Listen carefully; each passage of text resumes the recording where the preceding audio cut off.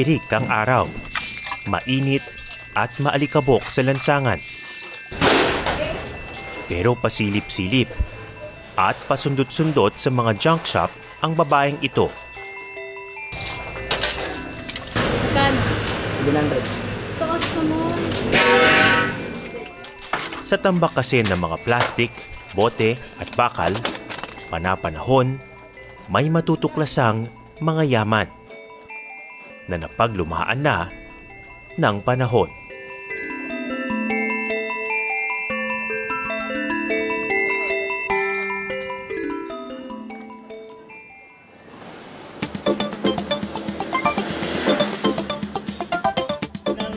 Pupuntahan mo ngayon, Junk shop po. May kukunin po akong gamit. Mag-pick up po. talagang formang-forma ka. Sunog po sa araw.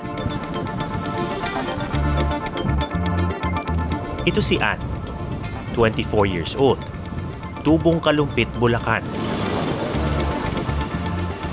Alam ni Ann na hindi pang karaniwang libangan sa mga Gen Z na gaya niya ang paghahanap ng antik. Pag tinatawag po ako ng mga ahente ko, ang tawag na po sa kanila, antique. Ganun na po. Kasi an po, tapos pinag, yung antique, pinagsama po nila, di ba? Oo.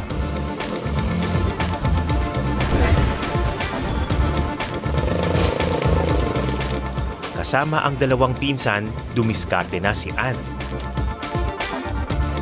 Unang binisita ang junk shop sa kanto ni Aling Lani. Hello po, nagdapunan po. Sabi ko na po yung poso na sinasabi niyo po kanina. Andoon, Magkano? Paano? Magkano po? 350 ata. 300 yun ako. 350 ko sa akin. Ay! 300 na na. Agay labas mo kayo yung ano, antik na poso. Sige nga po. Ano pa po yung meron niyo dyan? Eh wala nga, yung ilaw na ano, eh, basag naman yung ano, salamin. Kaya, yung mga chandelier, ewan ko kung pwede yan. Madalas gamitin ang salitang antik para ilarawan ang anumang gamit na luma. Pero kung tutuusin, para tawaging antik, dapat may edad itong isang daang taon pataas. Eh, yung ano po yung bote na yun? Kung hindi pa ganun katanda, pwede namang tawaging vintage. Para lang malinaw. Pero lahat ng yan, may kani-kanilang halaga. Ano ang ano, ano ang kilatis mo? Hindi po siya, hindi po tuhod eh. Ay, hindi siya. Hindi ano, po, ano ayan siya? po. Para siyang ano eh, yung yung pagka-marmol. Hindi po, parang marmol po siya oh. Yung katawan po, ayan. Bato? Oho. Ayan po oh. Hindi po siya wood. Mm, or Pero plas, baka plaster. Ivory made, yun talaga antik ano. Mukhang may nadiskubre si Ann. So yun na nga, ang sa biglang tingin, May value po to. may value yan. May magkakagusto naman po sigurado. Oo. Ano Kasi kaya yung ito? iba no? Ano kaya ano kaya collection kwento dito? Merong lalaki, Nasa bangka yung babae. merong babae na nasa Hindi parang duyan, duyan, po to eh. duyan. Duyan. Mm, nagpapahangin sa puno ng niyog. Ayun. Oh, wow, yun ba kwento? Oh, ito yung Ah, ano ano po eh. ano po tingin niyo relasyon nila? Mukhang mag-boyfriend at jowa. Sigurado ba kayo? Baka ano lang to. Ah, Baka magkabit.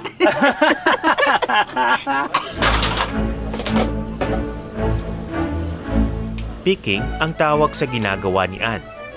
Ito yung paghahanap ng vintage o antique items sa mga junk shop, lumang bahay, at iba pang mga lugar. Kumusta naman siya? Ah, maganda. Bakit Mabait, maganda? mabait. Makulit po ba? Minsan. Magaling ba tumawad? Oo. Oh, ito nga, matawad. Di ko pinatawad. Panapanahon, meron kayong mga nakakuha na parang naisip mo na agad na, uy, baka interesado yung mga ano dito, mga picker. Yung mga nag-antik. Ako kasi basta kakaiba, kahit hindi ako siguradong antik, tinatabi ko. Mm. Bahala na mamili yung nag-antik kung pwede o hindi.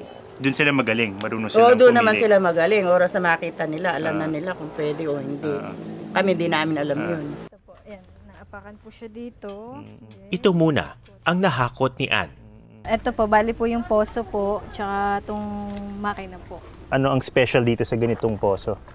Ginagawa po siyang pang garden accent po ng mga, halimbawa po sa resort, o kaya po may mga bahay din po na pinandi-display din po sa garden nila. Po, ito naman po, ah, ginagawa po siyang paa po ng lamesa. Mm. Ano ba to? Yung sa Gagamba po kung tawagin. gagamba. Mhm. Yung pang nagtatahe, no? Apo. Yung dating ginagamit. Bali, ito po yung apakan niya po. Yan. Mm-mm. Kasi may ikot po. Oo nga. Okay. Happy ka naman sa Happy nakuha mo dito? Po. Meron pa naman po ulit Mm-mm. pupuntahan. Ah, may iba pa. Opo.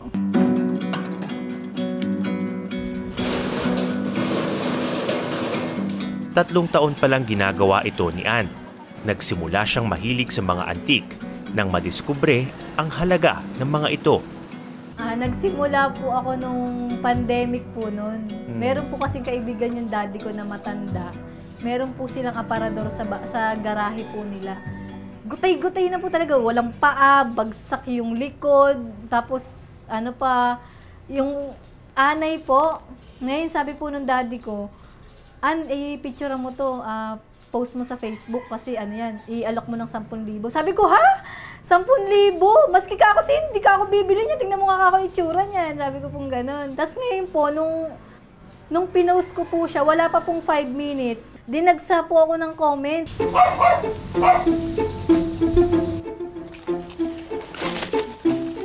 Mula noon, nagpasya na si Ann na makijoin sa kalakaran. Naging ahente muna siya ng mga veterano sa industriya. Kuya, isa lang to, yung poste. Pero ngayon, sa tulong daw ng kanyang mga mentor, nagsarili na si Ann.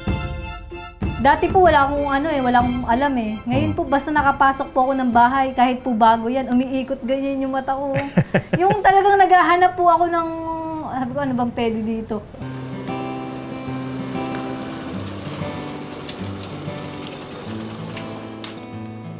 Isa pang paboritong puntahan ni Ann ang bentahan ng mga kahoy.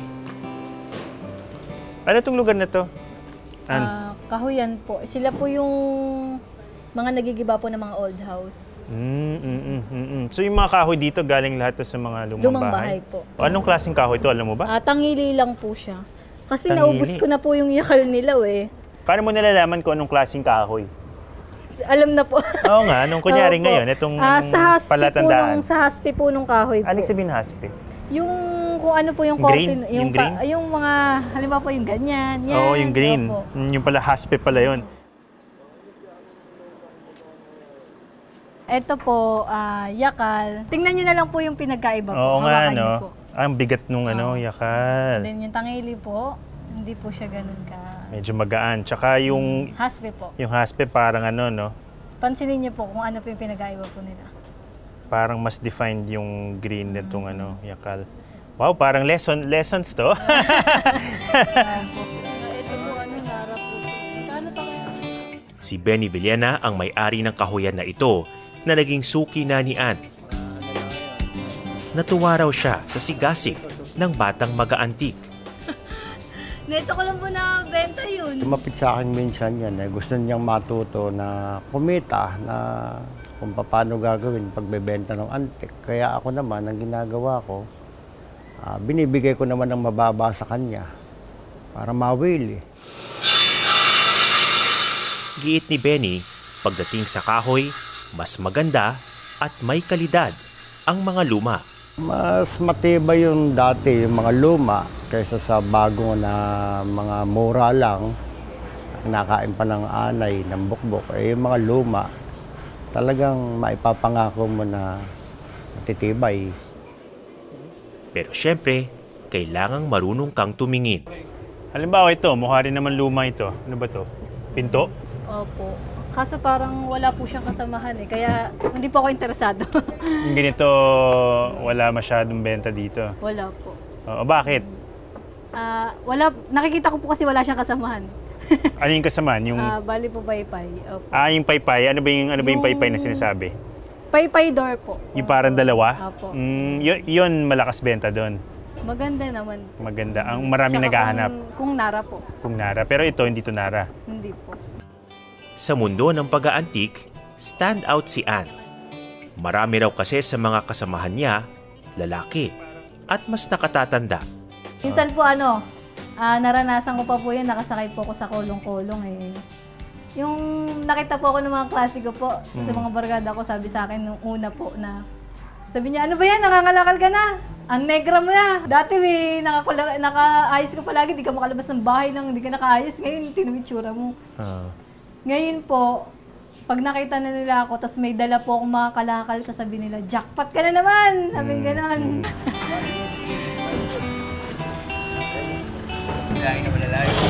Okay. Ito, gilingan ito. Ako ng Ilocos. Mm. Ngayon, hindi na lang sa Bulacan naghahanap ng antique at vintage items si Ann. Umaabot na siya sa iba't ibang bahagi ng Pilipinas. So meron meron ka ring mga partner na nagpupunta sa ibang mga lugar, Apo. mga malalayang lugar. Apo. Tulad niyan ito, galing Ilocos. Oo. So bakit bakit interesting ito? Ah, Para altar sa'yo. table po ito, ah, primitive po. ah, 1920s po. 1920s? Nara po. Nara. Opo. Paano mong nalamang Nara po. Nara at Ayan, sa kahoy po. 1920s? Ganun ulit. Opo. Na Kasa kahoy po. parang may mata ka na lang talaga. Mhm. No? May estimate ka ba kung magkano mo ibebenta ito? Alam po 12 to eh. Opo, 12 yata. 12,000. Hindi mo sasabihin sa akin magkano mo nabili. Hindi po. Bukas man sa ibang detalye ng kanyang trabaho, pagdating sa usapin ng kita, medyo malihim si Ann. Mabibigyan mo ba kami ng estimate sa isang buwan kung o isang linggo kung magkano ang kinikita mo? O ayaw mo sabihin? Ayaw. Pero okay naman. okay naman po. Minsan, naka-jackpot na rin daw si Ann. Tulad na lang nang makahanap siya ng cabinet na higit isang daang taon na. Komoda po.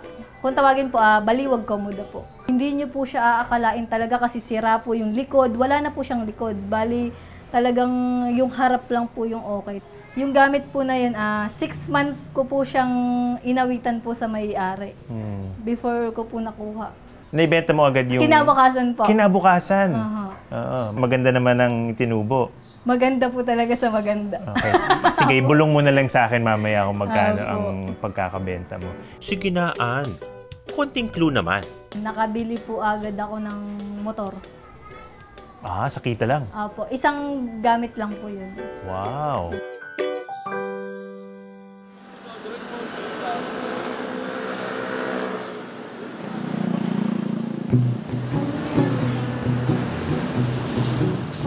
Kinahapunan, Kasi gusto ko kasi sculpture siya. eh. dumating na ang isang buyer ni Ann. Nagustuhan ata ang nakitang lampara ng Gen Z picker sa junk shop. Pero maganda ah, kasi Maganda. sculpture siya. Mhm. Artwork, kumbaga po parang Artwork, oo. Kasi lalagyan ko na lang ito ng ano, ng ng taklob. Dito ako natuwa dahil Ang parang ang ganda ng kwento ng ano ah, nila ganda, eh. ganda. Ganda. Ito si Danny, isang antique collector. Kunin ko na to ah. Kani usapan natin. Baka dadagdagan mo, sir. Usapan natin.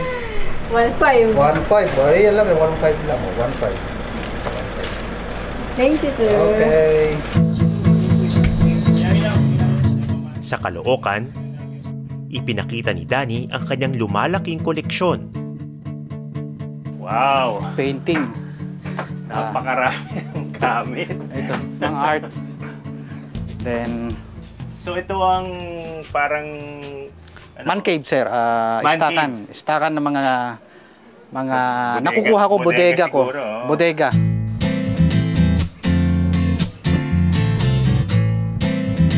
Ito yung mga battles na nakukuha ko. Ito mga hukay ito eh. Hukay? Mga hukay yan, mga hukay yan. Mga pag may nag-ano na mga kalsada, so nahukay yan. Ah, talaga? Yes, yes, ito. Ano? Ito, mga... Ito mga silver plated. So ito yung mga gamit nung araw. Ito. Pagdating naman dito, ito yung mga bakal, mga vintage mga vintage sa Mga laruan. laruan. Sa dami ng items mo, di mo alam kung saan mo na ilalagay. Wala ka ba sakit? Hindi ka ba addict sa antique? Addict, ah, halos addict na ako sa antiques eh. Minsan, one time, yung isang bagay na hindi ko nakuha. Hindi ako nakakatulog. Hindi lang kolektor si Danny. Ayan. So ito pang, siguro, sabihin mo na lang na rare piece yan. Yan eh. Lebisilerio, Lebisilerio na Katunayan, ito raw ang naging susi sa pag-asenso niya sa buhay. Ano bang trabaho mo dati? Isa akong ano sir, ah, car washer. So lahat naman ng trabaho na pasukan, no? Car washer, janitor, merchandiser, halos sa Manila talaga nakipagsapalaran ako dito. So ang nangyari, nag ah, ano ako, nag-research ako, nag-ikot ako sa mga antique shop. So doon ako na ano, nawili sa pagdating sa mga antiques. So then, ito na, tuloy-tuloy na ito. Ginawa ko ng hanap buhay. Ano yung mga naipundar mo mula sa ganitong negosyo? Nakapundar ako ng Ano yung mga naipundar mo mula sa ganitong negosyo? Nakapundar ako ng tatlong bahay. Wow! at isang sasakyan. So, ah malaking bagay sa akin yun. Malaking bagay talaga. Ano po ang paborito nyo dito? Actually, ito itong ano, itong mga coins na to. Dahil ah, Dito ka rin nagsimula, hindi ba? yes, yes, ah, dito ako nagsimula. Lagyan natin dito. Ito Spanish coins pa to nung araw. So dito nag-circulate dito sa Pilipinas. Ang ganda ng condition niya. Yes, ah, graded na siya, naka-slab na siya. Pinakaluma ito. Ito. 1897 1877 ito. Ah, ito, ayan. Ito nga. 1877. Ito yung pinakaluma. Oh, ito rin 1819. Eh, yung ganito, halimbawa, magkano ang benta dito? Kung, kung may bibili sa'yo, magkano mo ibebenta to? So ito mga per mga 30 to 50 each. Meron bang pagkakataon na gano'n na, uy, maganda to, mataas ang benta nito. Pero dahil sa sobrang nagustuhan mo yung item, parang hindi, ayoko ibenta, akin na lang. Madalas ba mangyari yun? Ah, as speakers collector ka, collector ka, halos yung kinokolekta mo, ayaw mong pakawalan eh. May one time na ganun, na walang-wala ka, tapos ibebenta mo. Parang, parang nanlulumo ka dahil personal collection mo na yun eh. Limpo, mga ano ng araw, eh, kaidik ka. Pero hindi bale. Hindi naman tumitigil si Danny sa paghahanap ng mga may daragdag sa kanyang koleksyon.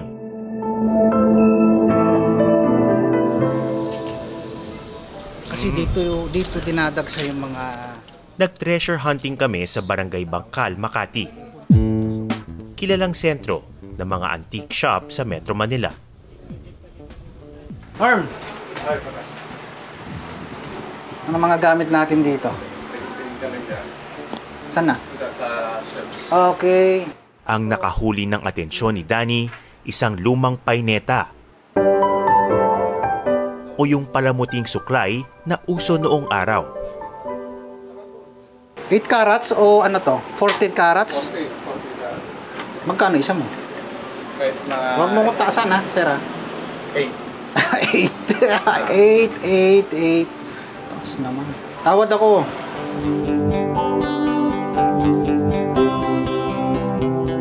30 lahat sagad na yun. 30. Wala na talagang ano. 5,000 ang isa. Okay. Deal. Deal. Ang ganda pa ng kondisyon.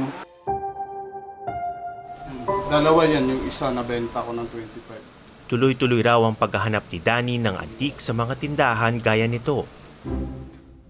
Pati rin sa mga junk shop, lumang bahay, at kahit sa social media.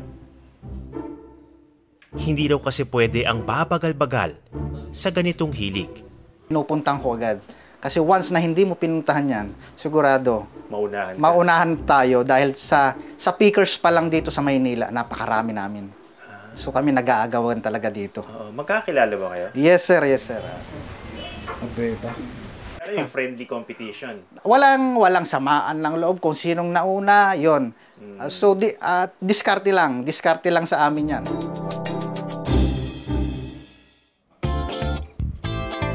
Isa sa mga itinuturing na legend sa mundo ng picking si Kyle, also known as the Filipino Picker. Sumama ako sa kanyang magikot sa mga thrift shop para matuto from the master himself.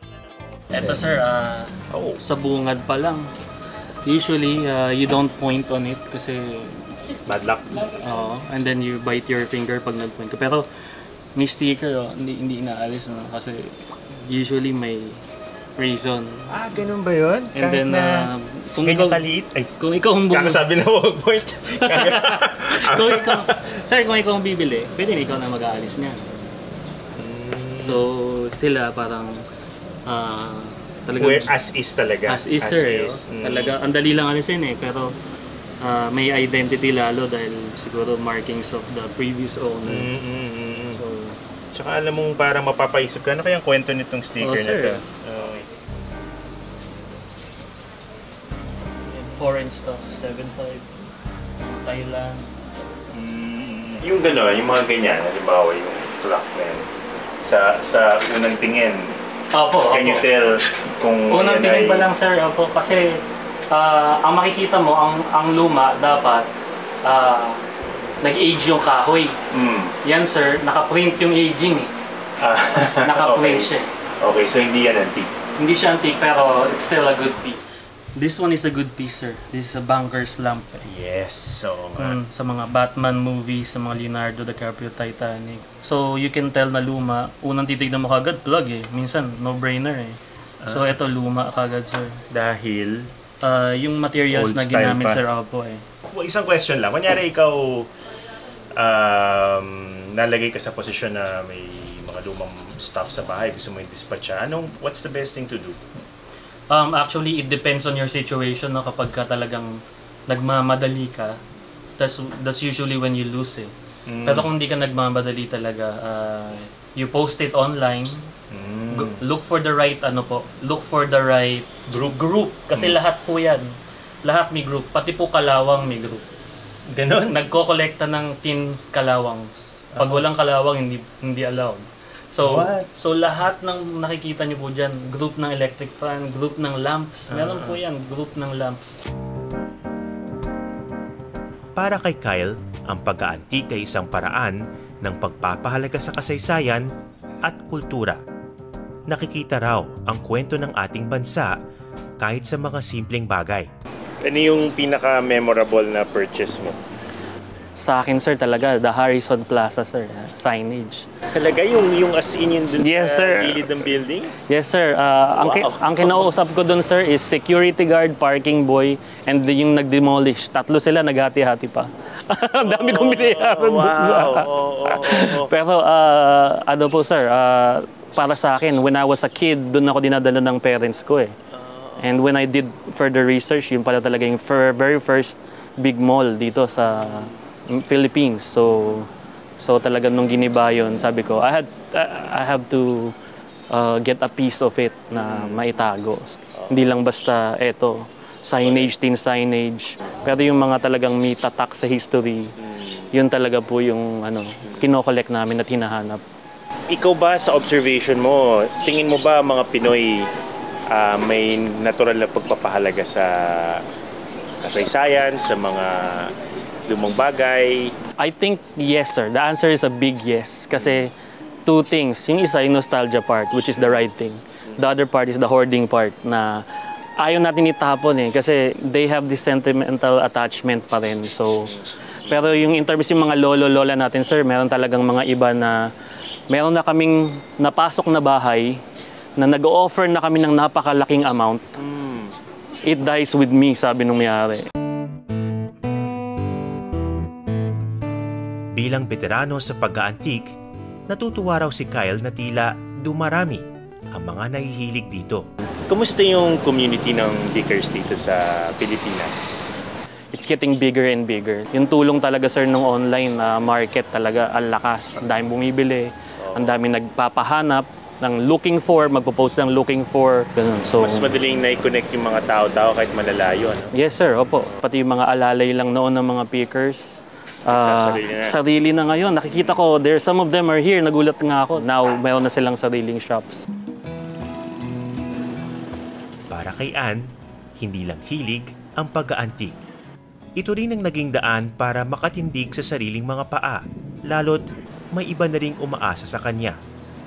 Sa pag-antik lang po talaga ko kinukuha ngayon ang lahat po eh.